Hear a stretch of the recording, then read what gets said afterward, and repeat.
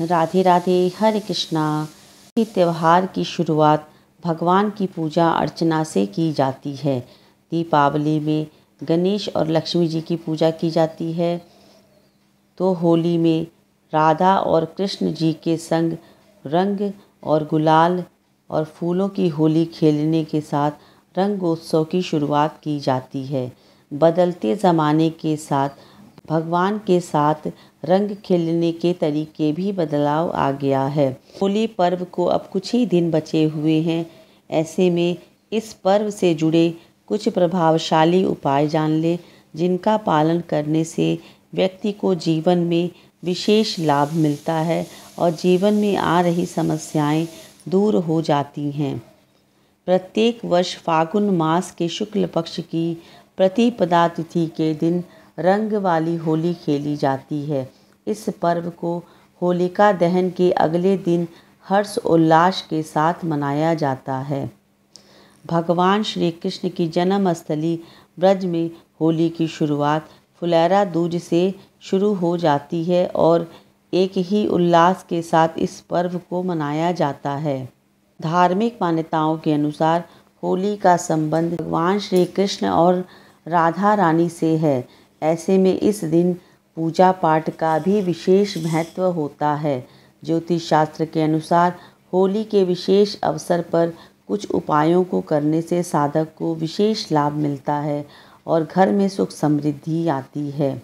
शास्त्रों में बताया गया है, भगवान गणेश के आशीर्वाद से सभी विघ्न दूर होते हैं। इसलिए होली के दिन सर्वप्रथम भगवान गणेश की पूजा करें और उन्हें लड्डू का भोग लगाएँ और सबसे पहले अबीर गुलाल भगवान गणेश को चढ़ाना चाहिए। जैसा कि हम सब जानते हैं, होली पर्व का संबंध राधा कृष्ण और व्रज से है। ऐसे में इस दिन घर के ईशान कोण में राधा कृष्ण की मूर्ति की स्थापना करें और यदि आपने लड्डू गोपाल जी की सेवा ले रखी है तो आप लड्डू गोपाल जी की स्थापना करें। उन्हें गुलाल या अबीर अर्पित करें। ऐसा करने से घर में सुख समृद्धि आती है। दाम्पत्य जीवन सुखमय रहता है। होली की शुरुआत होलिका दहन से शुरू हो जाती है। होलिका दहन एक दिन पहले और अगली सुबह नरसिंह स्रोत का पाठ अवश्य करना चाहिए। नरसिंह भगवान श्री हरि के ही अवतार माने जाते हैं और इन्होंने दैत्यराज हिरणाकश्यप का वध किया था, जिसकी बहन होलिका थीं। जैसा कि हम सब जानते हैं, होली पर्व का संबंध राधा कृष्ण और व्रज से है। होलिका दहन की पौराणिक और प्रमाणिक कथाएँ। हिंदू कैलेंडर के अनुसार वर्ष के अंतिम माह, फागुन माह पूर्णिमा को होलिका दहन होता है। होली की पौराणिक कथाएँ चार घटनाओं से जुड़ी हुई हैं। पहली होलिका और भक्त प्रहलाद, दूसरी कामदेव और शिव और तीसरी राजा पृथु और राक्षसी जुंडी और चौथी श्री कृष्ण और पूतना। लेकिन उक्त सभी में होलिका और भक्त प्रहलाद की कथा को ही मान्यता ज़्यादा दी जाती है, क्योंकि इसी की घटना की याद में होलिका दहन करके दूसरे दिन भक्त प्रहलाद के बचने की खुशी में धुंडेली का त्यौहार मनाया जाता है। आइए जानते हैं होली की पौराणिक और प्रमाणिक कथा। ऋषि कश्यप और दिति के दो बलशाली पुत्र हिरणाक्ष और हिरणाकश्यपु थे और दो पुत्रियाँ सिंहिका और होलिका थीं। हिरणाक्ष धरती को जल में डुबो दिया था।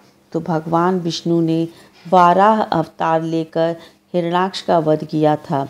सिंहिका को हनुमान जी ने लंका जाते वक्त रास्ते में मार दिया था। अब बचे हिरणाकश्यप और होलिका, इन्हीं की है यह कथा।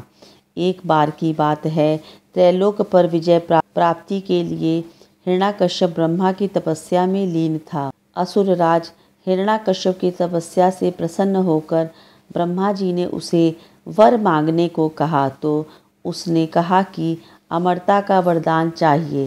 ब्रह्मा जी ने कहा कि यह संभव नहीं है, और मांगो। तो उसने कहा कि आपके बनाए किसी प्राणी, मनुष्य, पशु, देवता, दैत्य, नाग आदि, किसी से भी मेरी मृत्यु न हो। मैं समस्त प्राणियों पर राज्य करूँ। मुझे कोई न दिन में मार सके, न रात में मार सके, न घर के अंदर मार सके, न बाहर। यह भी कि कोई न किसी अस्त्र से प्रहार करे और न ही किसी शस्त्र के प्रहार से मार सके। ना भूमि पर, ना आकाश पर, ना पाताल में, न स्वर्ग पर। ब्रह्मा जी तथास्तु का वरदान देखकर उसे अंतर ध्यान हो गए। हिरणाकश्यप जब तपस्या में लीन था, तब उसी दौरान देवों ने असुरों पर आक्रमण कर उन्हें परास्त कर दिया था और देवराज इंद्र हिरणाकश्यप की गर्भिणी पत्नी कयादु को बंदी बना ले गए थे। परंतु बीच रास्ते में ही उनकी मुलाकात देव ऋषि नारद से हुई। नारद जी ने इंद्र को उपदेश दिया कि आप ये पाप कर रहे हैं। उपदेश सुनकर इंद्र हिरणाकश्यप की पत्नी कयाधु को महर्षि के आश्रम में छोड़कर स्वयं देवलोक चले गए। गर्भिणी, गर्भवती कयाधु को नारद ने विष्णु भक्ति और भागवत तत्व से अवगत कराया। यह ज्ञान गर्भ में पल रहे पुत्र प्रहलाद ने भी प्राप्त किया।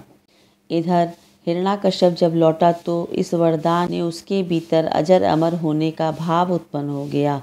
इसके चलते उसने धरती पर अत्याचार शुरू कर दिया। उसने देवों को अपना दास बनाया। ऋषि मुनियों व भगवत भक्तों को तंग करने लगा। यज्ञों को नष्ट भ्रष्ट करने लगा। उसने आदेश दिया उसके राज्य में किसी भी देवता की पूजा नहीं होगी।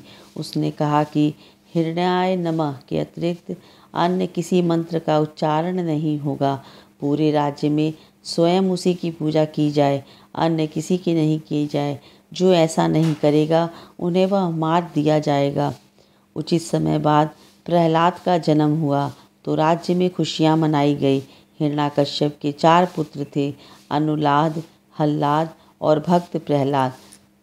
संहलाद प्रहलाद का उपनयन संस्कार करके उसे गुरुकुल भेजा गया। कुछ समय बाद हिरणाकश्यप को ये जानने की उत्सुकता हुई कि गुरुकुल में मेरे पुत्रों ने क्या सीख रहा है। उसने प्रहलाद को बुलाकर पूछा, तुमने गुरुकुल में क्या सीखा है?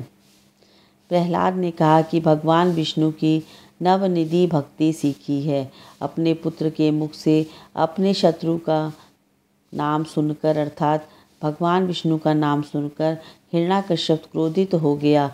कई बार समझाने के बाद भी प्रहलाद ने विष्णु की पूजा का पाठ करना बंद नहीं किया तो इससे क्रोधित होकर हिरणाकश्यप ने अपने गुरु को बुलाकर कहा, ऐसा कुछ करो कि यह विष्णु जी का नाम रटना बंद करे। गुरु ने बहुत कोशिश की, किंतु वे असफल रहे। तब असुर राज ने अपने पुत्र की हत्या का आदेश दे दिया।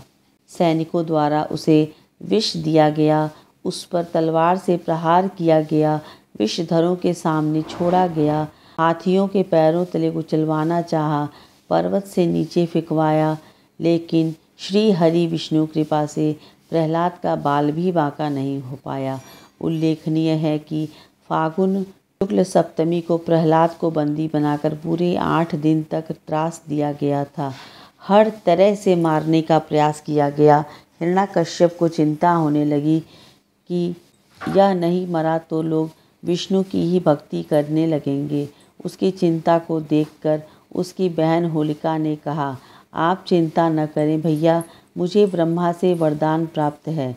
मैं किसी भी प्रकार से अग्नि में जलकर नहीं मरूँगी। अग्नि में तो सभी भस्म हो जाते हैं।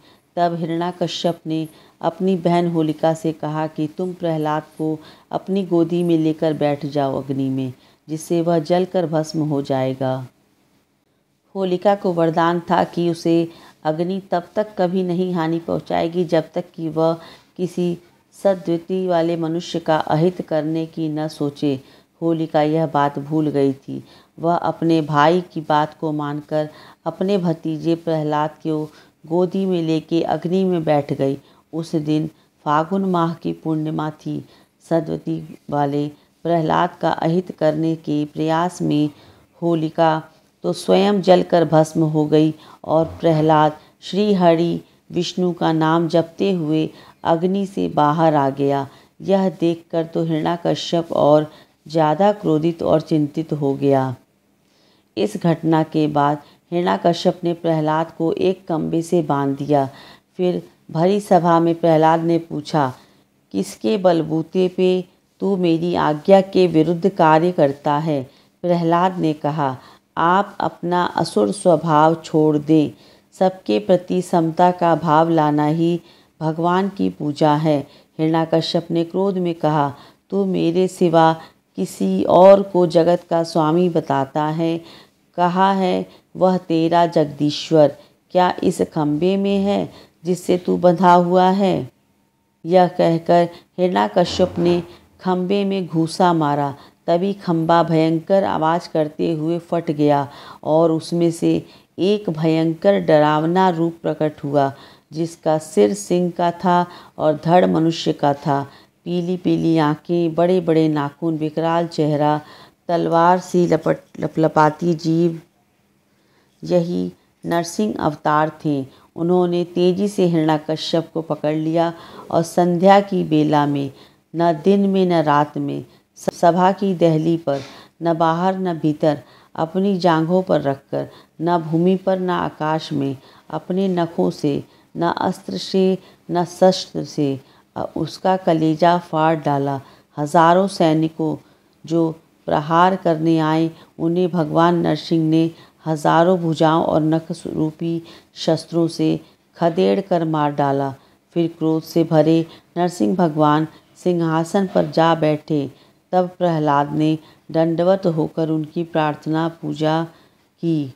प्रहलाद का राज्य तिलक करने के बाद नरसिंह भगवान वहाँ से चले गए। राधा और कृष्ण की कथा। होली का त्यौहार राधा और कृष्ण की पावन प्रेम कहानी से भी जुड़ा हुआ है। बसंत के सुंदर मौसम में एक दूसरे पर रंग डालना, उनकी लीला का एक अंग माना जाता है। मथुरा और वृंदावन की होली राधा और कृष्ण के इसी रंग में डूबी हुई है। बरसाने और नंदगांव की लठमार होली तो प्रसिद्ध है। देश विदेश में श्री कृष्ण के अन्य स्थलों पर भी होली की परंपरा है। यह भी माना गया है कि भक्ति में डूबे जिज्ञासुओं का रंग बाह्य रंगों से नहीं खेला जाता। रंग खेला जाता है भगवान नाम का। रंग खेला जाता है सद्भावना बढ़ाने के लिए। रंग होता है प्रेम का। रंग होता है भाव का। भक्ति का। विश्वास का।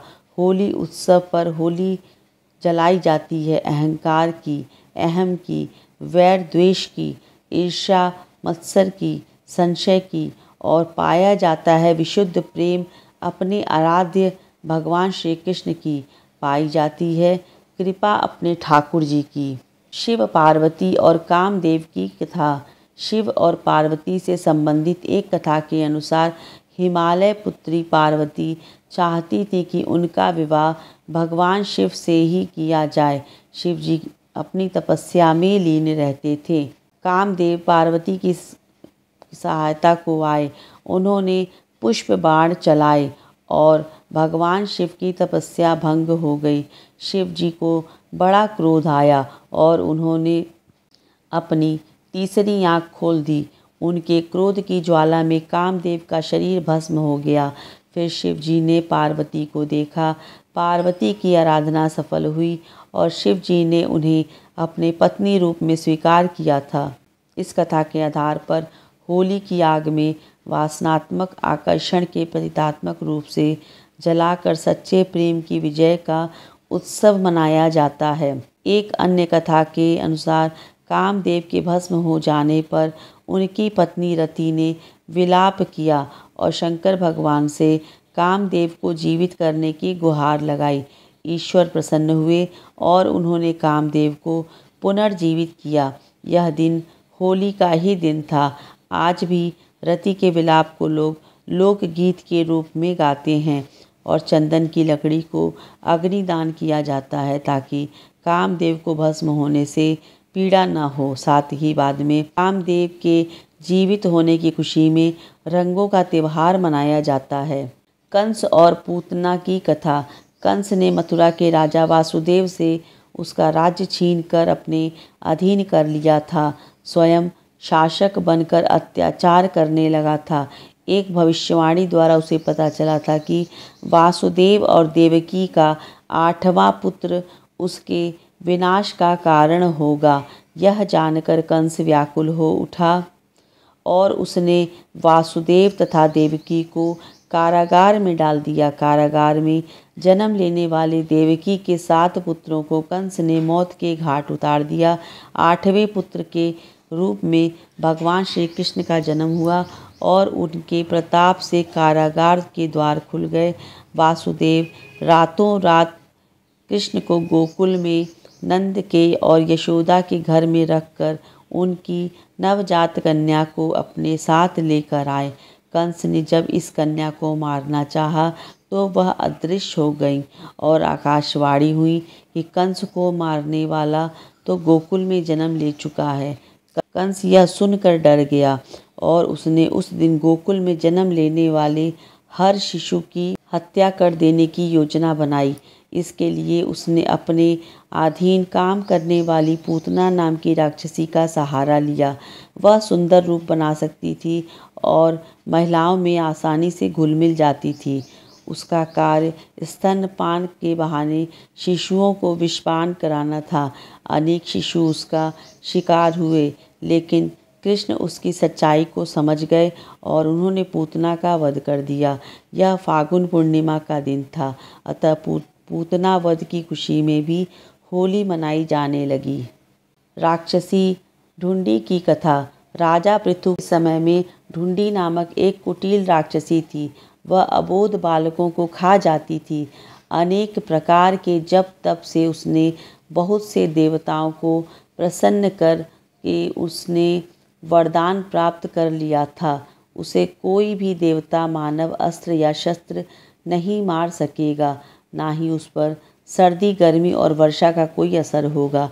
इस वरदान के बाद उसका अत्याचार बढ़ गया क्योंकि उसको मारना असंभव था। इसलिए शिव के एक शाप के कारण बच्चों की शरारतों से वह मुक्त नहीं थी।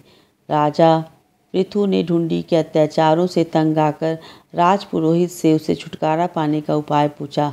पुरोहित ने कहा कि यदि फागुन मास की पूर्णिमा के दिन जब ना अधिक सर्दी हो, ना गर्मी हो, सब बच्चे एक एक लकड़ी लेकर अपने अपने घर से निकले।